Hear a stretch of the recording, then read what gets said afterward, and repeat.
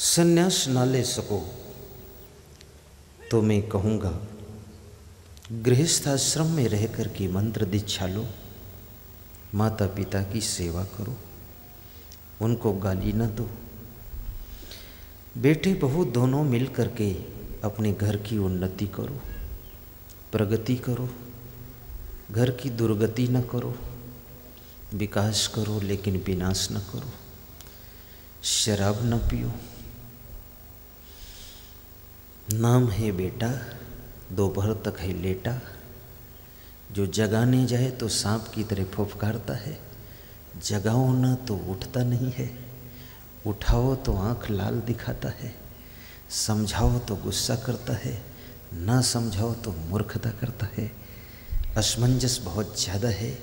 माँ बाप डरे हुए हैं। बेटा बहू कंपटीशन पर सो रहे हैं। कुंभकर्ण और कुंभकर्ण की पत्नी बने हुए हैं। सारा घर हाहाकार हुआ जा रहा है। समझाने वाले थक गए हैं। भगवान को पुकार रहे हैं कि भगवान तुम ही आओ।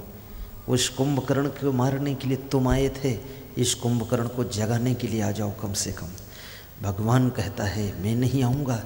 एक कुंभकर्ण को मारने में हालत खराब हो गई। अभी इसको तुम ही संभालो।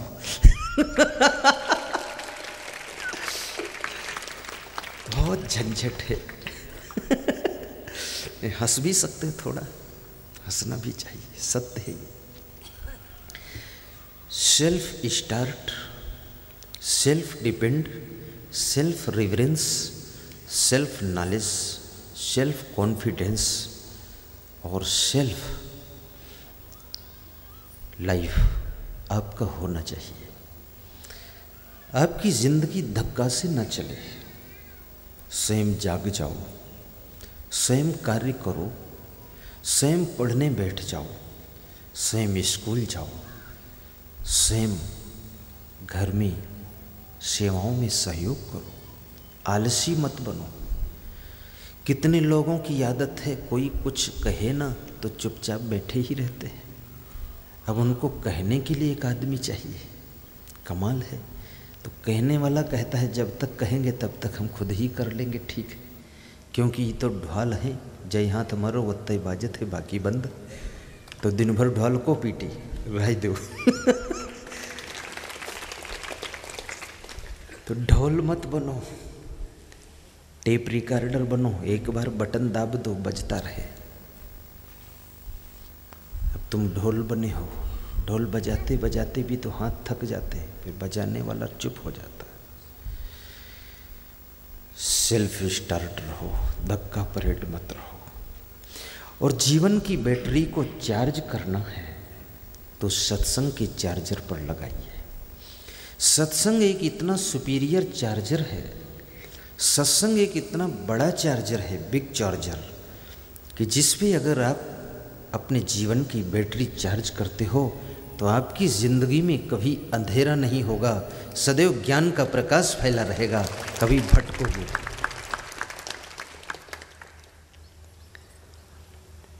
इसलिए तुलसीदास ने कहा है कि एक घड़ी, आधी घड़ी, आधी में पुण्यात तुलसी संगति साधु की कटे कोटि अपराध।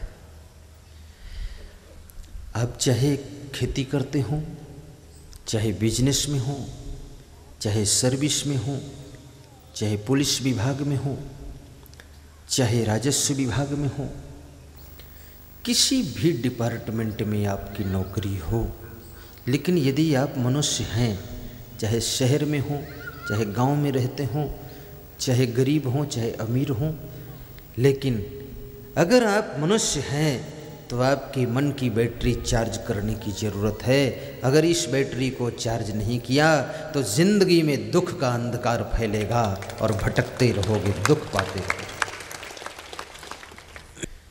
ध्रुव जा रहे हैं। तब करने के लिए माँ रो रही है। माँ को मोह आ गया। माताओं से निवेदन करूँगा, अगर आपका बच्चा महान कार्य करने के लिए चाहता है रो कर विदा मत करना मुस्करा कर विदा करना कि जाओ बेटा, करो जाकर, आशीर्वाद दे देना।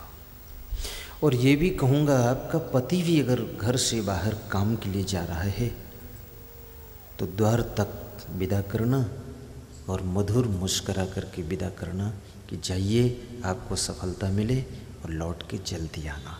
धन्यवाद। देखो, तुम्हारा पति सफल होकर आएगा। लेकिन पति जा रहा है और तुम सो रही हो तो पति ज़रूर फेल होगा। क्योंकि समझता है, एक चुड़ैल घर में सो रही है। पति जा रहा है और तुम गुस्सा कर रही हो। तो पति के मन में टेंशन रहेगी प्रसन्नता नहीं रहेगी और पतियों से भी मैं कहूँगा, जब कभी तुम बाहर जाना, खेत में, दुकान पे या सर्विस में तो अपने घर से सबसे मिलजुल कर जाना। ऐसा नहीं चुप्पे से निकल गए। ठीक, मैं जा रहा हूँ। धन्यवाद, सब लोग ठीक ठाक रहना, प्रेम से रहना। इतना कह कर जाओ। शब्दों का प्रभाव होता है, लोग याद रखते हैं। सब लोग ठीक से रहना, मैं जल्दी लौटूँगा। आप सबका प्रेम मुझको खींच लेगा। सर्विस पे जा रहा हूँ। जन्म स्थान तो है मेरठ, बाराबंकी में सर्विस है पुलिस विभाग में। जा रहा हूँ।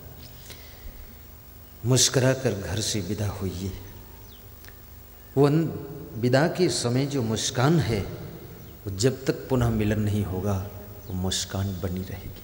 खुश रहोगे। झिका झोरी करके विदा मत हो। कि झड़ाक से झोला उठाया कि लाओ झोला जा रहा हूँ। कभी नहीं आऊँगा। और फिर चंदू लाल एक महीना बाद खड़े हैं। फालतू बात करते ऐसी फालतू बातें मत करो।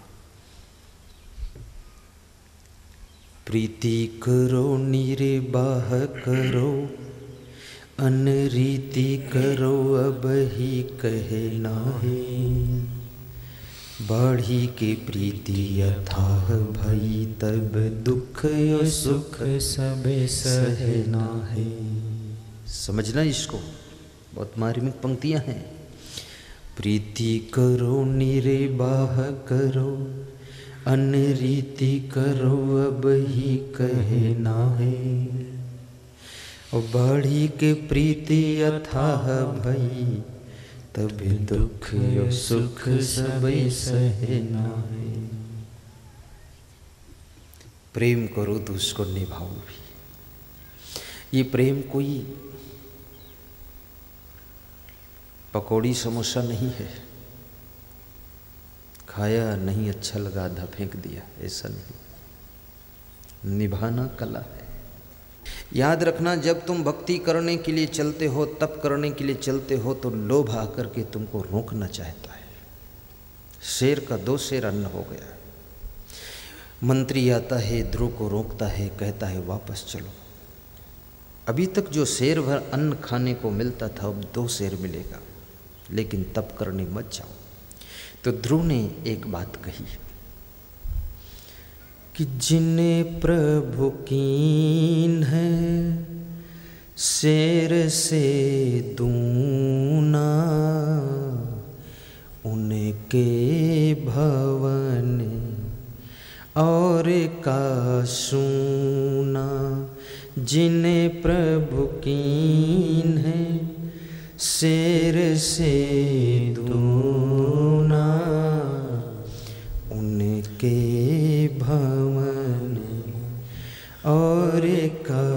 सोना।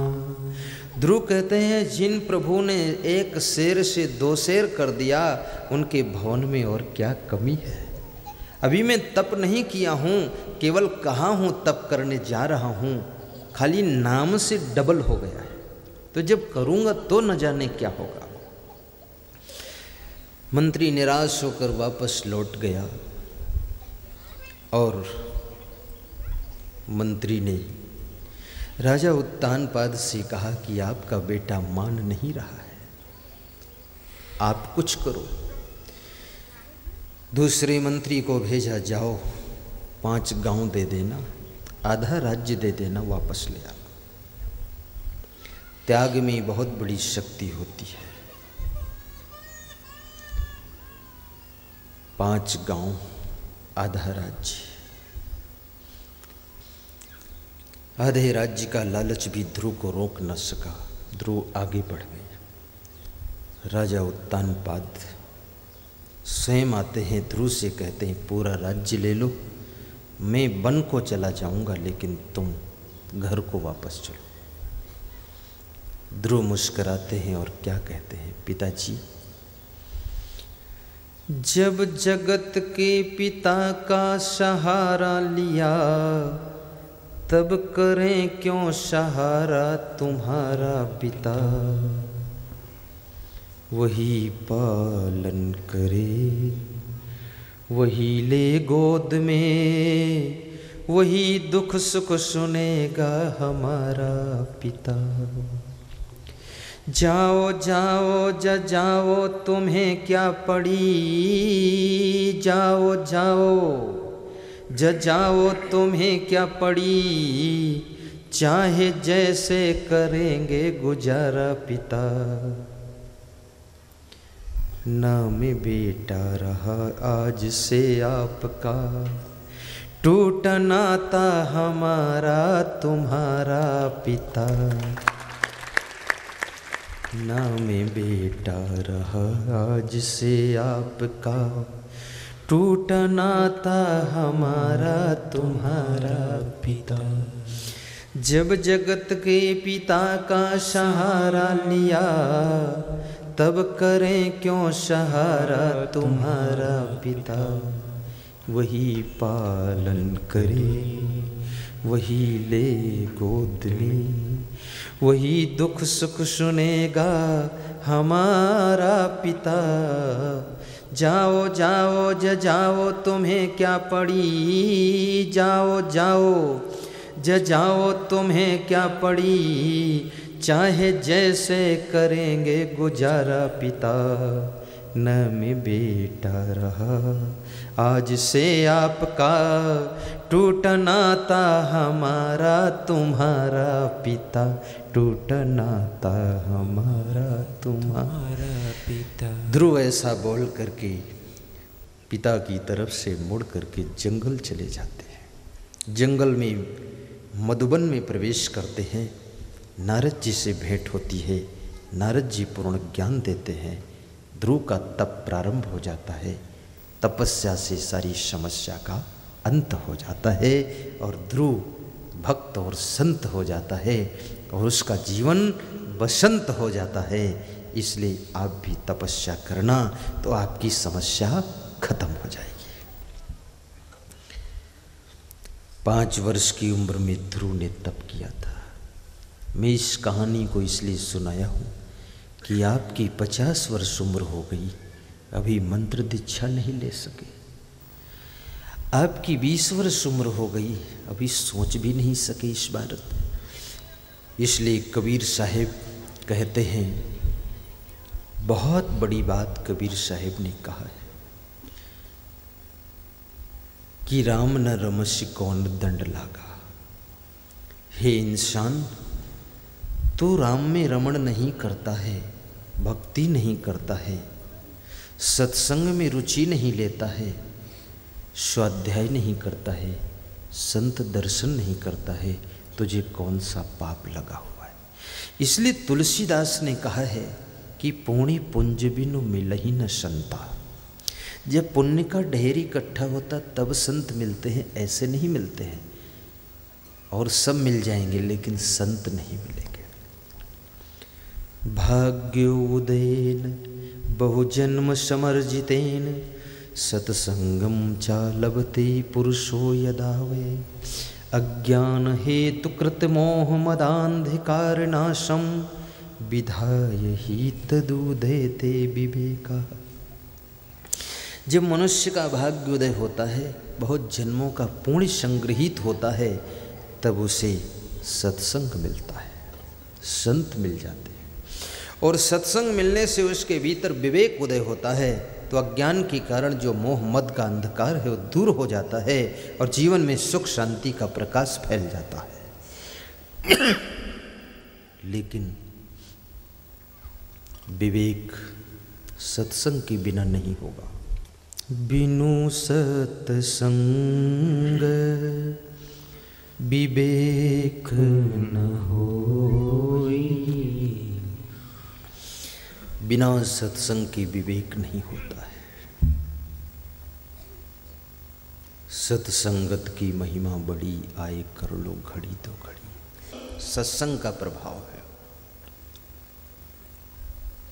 आप सोचना, संगत का कितना महत्व है। मैं आपको बताऊँगा। चींटी जब फूल की संगत करती है भगवान के मंदिर में चढ़ जाती है। चींटी वही है। केवल फूल की संगत किया है। भगवान के मंदिर में चढ़ गई है। भगवान के ऊपर चढ़ाया हुआ जो छप्पन प्रकार का भोग है, भगवान लगाता है कि नहीं लगाता कुछ पता नहीं, लेकिन वो चींटी प्रेम से बैठकर भोग भी लगाती है। केवल फूल की संगत किया है। और वही चींटी जब जलती हुई लकड़ी की संगत कर लेती है तो आग में जल करके मर जाती है। और वही चींटी जब धूल की संगत करती है तो पैरों के नीचे रौंद कर मारती जाती है। संगत के इतने बड़े परिणाम हैं। पानी जब दूध की संगत कर लेता है, तीस रुपये लीटर बिक जाता है। फ्री मिलने वाला हैंडपम्प में पानी। जब चाय की संगत करता है, एक कप पानी पाँच रुपये का बिक जाता है। और वही पानी जब मिट्टी की संगत करता तो कीचड़ बन जाता है, जहाँ लग जाता है, कपड़े को गंदा कर देता है। और वही पानी जब साबुन की संगत करता है तो लगे हुए कीचड़ की गंदगी को साफ़ भी कर देता है। और वही पानी जब किसी महान सदगुरु के चरणों की संगत करता है तो वो चरणामृत बन जाता है। एक बूंद चरणामृत पान करने से जीव भावसागर से पार हो जाता है। पानी वही है। संगत बदल गई, पानी के परिणाम और कीमत बदल गई। इंसान तो वही है। संगत जैसी मिल गई, रंगत वैसी लग गई। सत्संग में सदैव रुचि लेना। सत्संग धीरे धीरे तुम्हारे अवगुणों को भी दूर करता है। मांस, मछली, अंडा, नशा, शराब, जुआ, ताश, बीड़ी, सिगरेट, गांजा, तंबाकू, इनका सबका त्याग करना।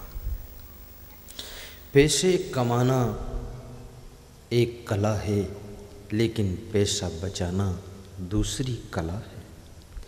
बची हुई पैसे का सदुपयोग करना ये तीसरी कला है। उसी पैसे में से धर्म की रक्षा के लिए पैसे खर्च करना ये जीवन की साधना है।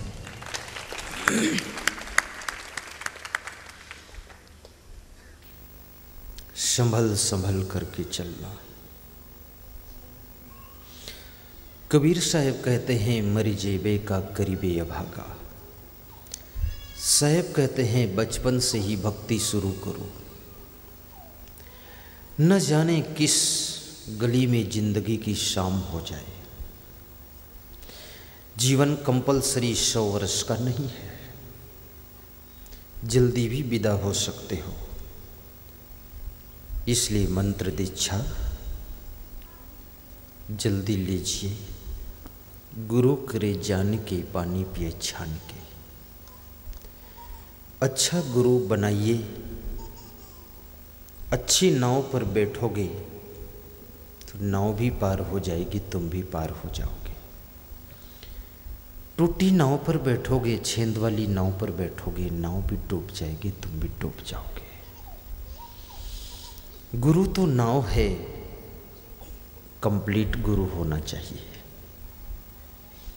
गुरु निर्मल शांत साधु मितभाषिण। काम क्रोध विनिर्मुक्त सदाचार जितेंद्रिया। गुरु कैसा होना चाहिए? पार्वती जी स्कंद पुराण में शिव जी से पूछ रही हैं। शिव जी कहते हैं कि हे पार्वती, गुरु निर्मल होना चाहिए। गुरु में मल ना हो। जिसका मन निर्मल, तन निर्मल, वाणी निर्मल, जीवन निर्मल, चरित्र निर्मल, विचार निर्मल, ऐसा गुरु होना चाहिए। शांता और गुरु शांत और प्रसन्न होना चाहिए। गुरु ऐसा हो जो प्रसन्न रहता हो, खुश रहता हो, ताकि तुम गुरु का दर्शन करके तुम भी खुश हो जाओ। शांत साधुओं और गुरु साधु होना चाहिए, गृहस्थ नहीं होना चाहिए। गृहस्थ को गुरु मत बनना, साधु को गुरु बनाना।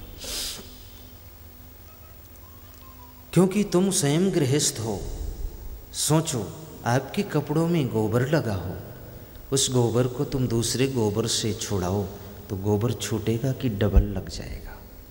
आपके कपड़े में खून लग गया हो वो खून को दूसरे खून से धो तो पूरा कपड़ा खून से और लथपथ हो जाएगा।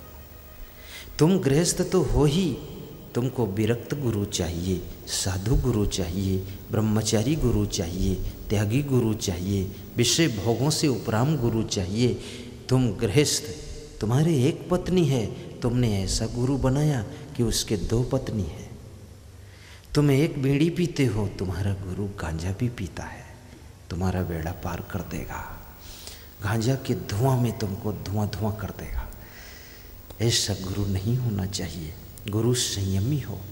अभी एक सज्जन कह रहे थे, मैं अपने गुरु से असंतुष्ट हूँ। तुमने कहा, फिर क्या मारपीट करोगे गुरु से? बोले, मारपीट नहीं, ट्रांसफ़र करना चाहता हूँ। तो हमने कहा, कर लो, यहाँ सूचना क्यों दे रहे हो? बोले, इसलिए दे रहा हूँ, डर लग रहा कोई खतरा तो नहीं होगा ट्रांसफ़र में। तो मैंने कहा, ये तो स्कंद पुराण में शिव जी ने कहा है, ज्ञानहीनो गुरु त्याज्यो मिथ्यावादी विडम्बका सो विश्रांति न जानात पर शांति करोत क्यों जो ज्ञान से हीन है, मिथ्यावादी है आडम्बरी है, पाखंडी है, उस गुरु को छोड़ दो। सच्चे गुरु को पकड़ लो, इसमें कोई पाप नहीं लगता है, बस इतना ज़रूर है उस गुरु की निंदा मत करो, उसको वहीं पर छोड़ के आगे बढ़ जाओ।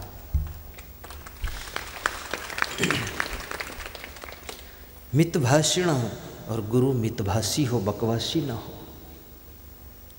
ज़रूरत भर का बोले फिर चुप भी रहे।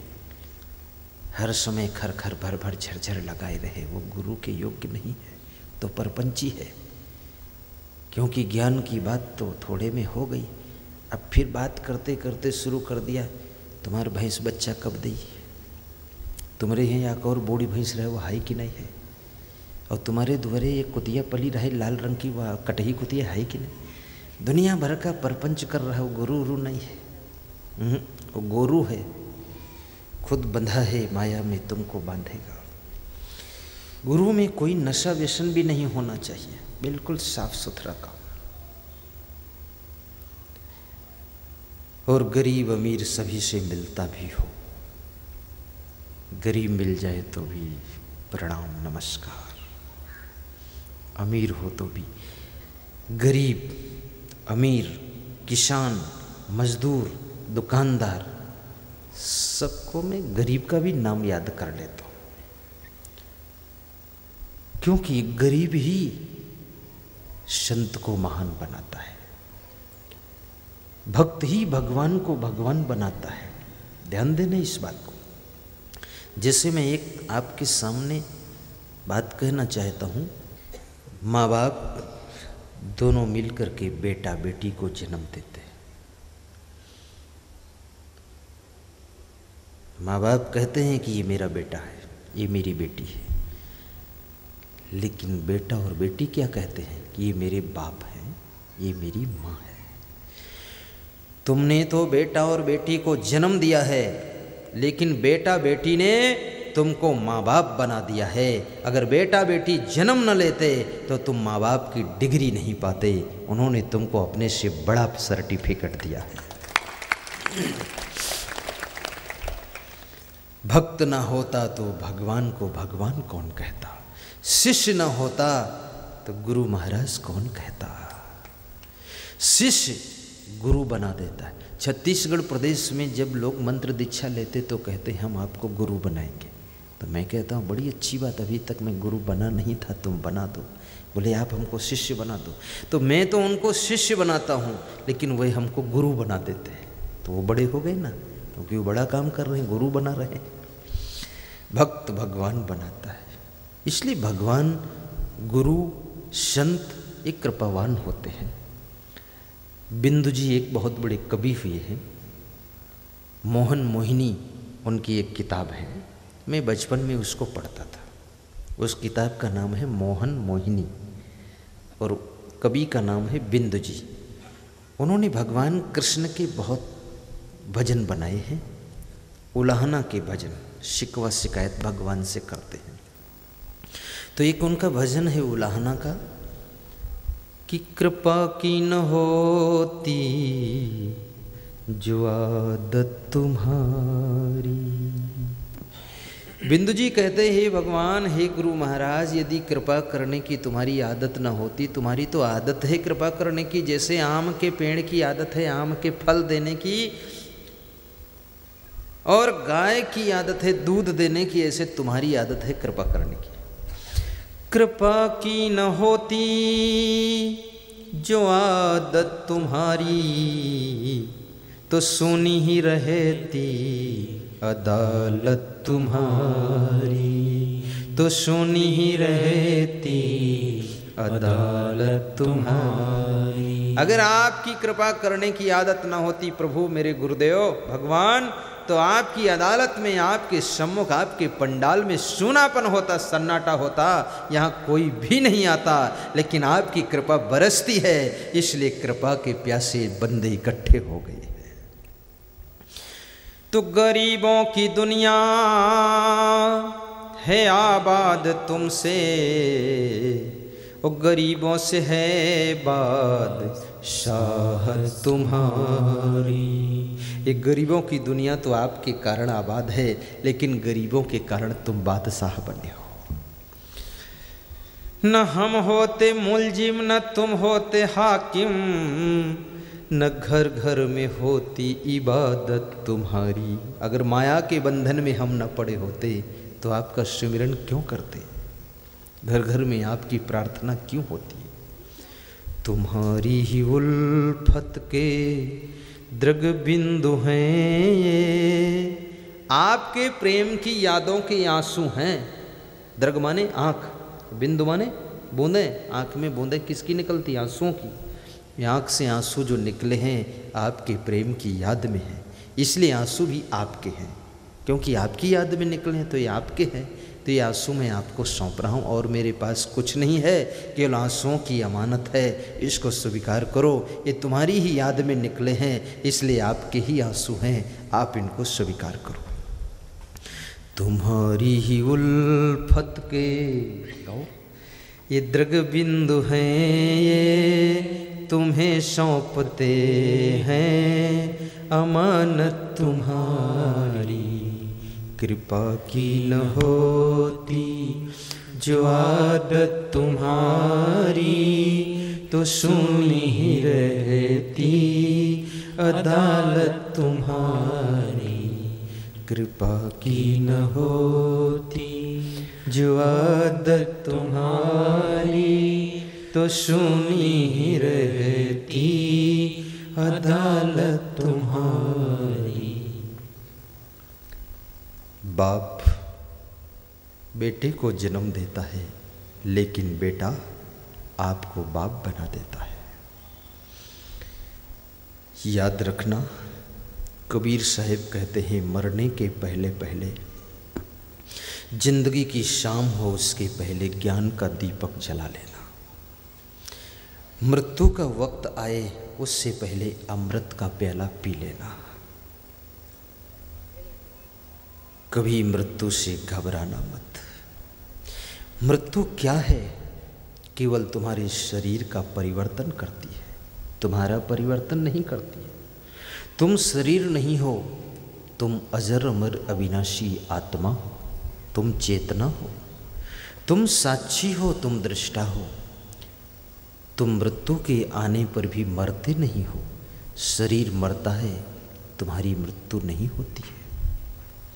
मृत्यु तो बहुत बार आ चुकी है, तुमको नहीं मार सकी है। नैनम छिंदंत शस्त्राणी नैनम दहत पाव का न चैनम क्लेदन त्यापो न सोशियत मारुता। श्री कृष्ण कहते हैं कि तुम अमर आत्मा हो, तुम शरीर नहीं हो, शरीर तो ऊपर का ढांचा है, तुम इस शरीर के भीतर छिपे हुए परम तत्व हो। और वह तत्व ऐसा है जिसे शस्त्र से छेदा नहीं जा सकता, पानी से भिगाया नहीं जा सकता, हवा से सुखाया नहीं जा सकता, आग से जलाया नहीं जा सकता। जिस शरीर के मरने से भी उसकी मृत्यु नहीं होती, न ऐसा कभी हुआ है, न होगा, न होता है, न हो सकता है। न जयते मृत्य व कदाचिन, न उस परम तत्व का जन्म होता है, न उसकी मृत्यु होती है। तुम जन्म मरण से परे हो तुम्हारे शरीर का ही केवल जन्म होता है। तुम तुम ही रहते हो, तुम्हारे में कोई परिवर्तन नहीं होता है। लेकिन याद रखना, जैसे कपड़ा मनुष्य पुराना बदल देता है, नए कपड़ा पहन लेता है, ऐसे ही आत्मा पुराने शरीर को चेंज कर देता है और नए शरीर को धारण कर लेता है। आपसे कोई कहे कि, पुरानी गाड़ी हमको वापस दे दो और नई कार ले लो तो तुम उसको धन्यवाद दोगे, चाय भी पिलाओगे, कहोगे, महान आत्मा हो तो मृत्यु कौन है? मृत्यु तुम्हारी पुरानी गाड़ी को वापस लेती है और नई गाड़ी को तुमको प्रदान करती है। इसलिए मृत्यु को धन्यवाद देना चाहिए। मृत्यु से घबराना नहीं चाहिए और पुराना शरीर वापस करती है और नया शरीर तुमको प्रदान कर देती है। मृत्यु धन्यवाद की पात्र है। लेकिन लोग मनाते हैं, मौत ना आए, मौत ना आए, मौत ना आए। हे भगवान, सब मर जाएँ, हम अमर हो जाएँ, हम न मरें। ये सारा गाँव हमारे कब्जे में हो जाए। पूरे भारत में अकेले हम रहें, हम ही हम। कोई नहीं, गम सब हो जाए, कम, दमादम, हम हम। कहाँ ऐसा होगा? इस लोक का नाम क्या है? इस लोक का नाम मृत्यु लोक है। क्या नाम है? मृत्यु लोक है। तुम बड़ी भूल कर रहे हो। इसका नाम अमरलोक नहीं है। इसका नाम मृत्यु लोक है। और मृत्यु लोक का मतलब है, जहाँ सबकी मृत्यु होती है, उसी का नाम मृत्यु लोक है। दारिद्र्यनाशनम दानम, शीलम दुर्गतिनाशनम अज्ञानाशिनी प्रज्ञा। भावना भयनाशिनी दान करने से दरिद्र का नाश होता है। दान करने से लोभ का नाश होता है। लोभ नरक का द्वार है। त्रिविधम नरकस्य इदम द्वारम नाशनम आत्मन। काम क्रोध तथा लोभ। तस्मात् एतत्त्रयं त्यजेत। एतैः विमुक्तः कौन्ते तमोद्वारै त्रिभिः नरः आचरति आत्मनः श्रेयः, ततो याति परां गतिम्। श्री कृष्ण अर्जुन से कहते हैं, काम क्रोध लोभ नरक के द्वार हैं, इनसे बचो। और हे कुंती पुत्र अर्जुन, जो इनसे बच जाता है, उसी का मोक्ष होता है। दारिद्र्यनाशनम दानम, शीलम, दुर्गति नाशनम अन्नदान करने वाले के घर में कभी अन्न की कमी नहीं होती। धीरू भाई अंबानी, गरीब परिवार में जन्मे गाड़रवाड़ा गाँव में, सौराष्ट्र में उनका जन्म हुआ। उनके गाँव में एक मंदिर था, वहाँ पर बेचने जाते थे चना मुरमुरा। एक रुपया दान मंदिर में कर देते थे। उस दान के प्रभाव से गरीबी तो लाखों को दूर हो गई। विश्व के उद्योगपतियों की लिस्ट में धीरू भाई अंबानी का नाम सितारे की तरह चमक गया। दारिद्र्यनाशनम, दानम, शीलम, दुर्गतिनाशनम अज्ञानाशिनी प्रज्ञा भावना भेनाशिनी कोई तीर्थ, कोई मुंडित किस्सा। किसी की मान्यता है कि बाल बढ़ाने से मोक्ष होता है, लेकिन बाल बढ़ाने से अगर मोक्ष हो जाता तो ये महिलाओं का सबका मोक्ष हो गया होता है। इनके बाल बड़े बड़े रहते हैं। इसलिए जटा रखने की भी ज़रूरत नहीं, रोज़ मुंडन कराने की भी ज़रूरत नहीं।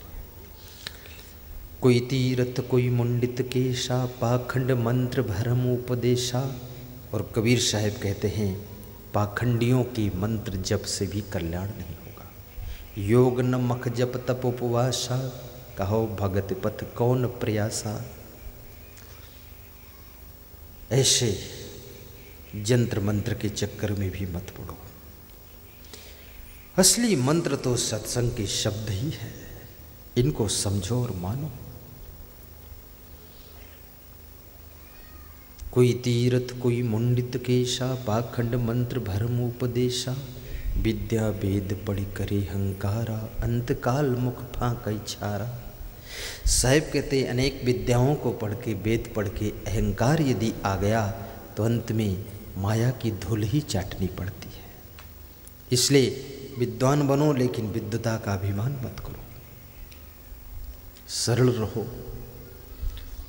दुखित सुखित हुई कुटुंब जेवावे, मरण बार ये कसर दुख पावे।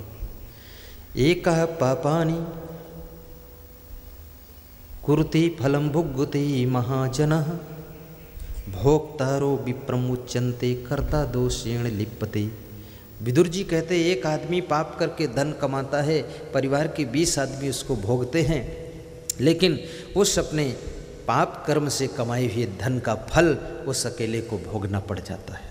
इसलिए दुखित सुखित हुई कुटुंब जीवाए कबीर साहब कहते हैं, दुख सुख उठा करके आदमी अपने परिवार को पालता है। मरण बार एक सर दुख पावे। जब मरता है तो अपने कर्मों का फल एक अकेले को ही भोगना पड़ता है, इसलिए अच्छी कमाई करके परिवार को पालना। क्योंकि काला धन तुम्हारे परिवार के अंदर काला मन पैदा कर देता है काला धन काले रास्ते से ही जाता है, इसलिए कभी गलत धन मत कमाना। शुद्ध धन हो, धन का भी प्रभाव पड़ता है। जैसा खाए अन्न, वैसा बने मन, जैसा पिए पानी, वैसी बने बानी। दुखित सुखित होए, कुटुंब जीवा हुए, मरण बार एक सर दुख पावे। कहीं कबीर यह कली है, खोटी जो रहे करवा सुन करे टूटी। कबीर साहब कहते हैं, ये आपकी दुर्बुद्धि बहुत खोटी है। आपके भीतर जो भी संस्कार भरे हुए हैं वे कर्म के करवा से बाहर निकल करके आते हैं। इसलिए अपने संस्कारों को शुद्ध कीजिए तो आपके कर्म शुद्ध हो जाएँगे। और कर्म शुद्ध होंगे तो कर्म ही धर्म बन जाएँगे। और जब कर्म धर्म बन जाता है तो याद रखना ये संसार स्वर्ग बन जाता है और आपकी आत्मा का उद्धार हो जाता है।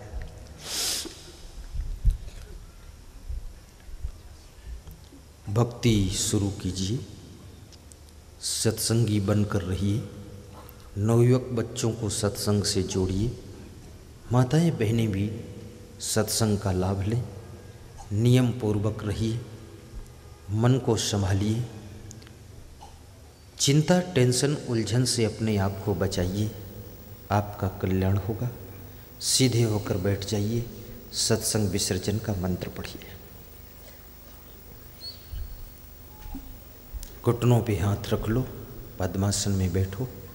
जिनको बैठने की जगह नहीं वे खड़े खड़े हाथ जोड़े रहो। कोई बात नहीं। आँखें बंद करके मंत्र बोलो। सर्वे भवन्तु सुखिना सर्वे सन्तु निरामया सर्वे भद्राणि पश्यन्तु। माँ कश्चित् दुख भाग भवे सुखी बसे संसार सब, दुखिया रहे न कोई। ऐसी मेरी भावना पूर्ण करो प्रभु ध्यान मूलम गुरुमूर्ति पूजा मूलम गुरुपदम मंत्रमूलं गुरुर्वाक्यम् मोक्षमूलं गुरुकृपा शांति शांति शांति। सभी श्रोता एक मिनट इष्टदेव का ध्यान कर लें।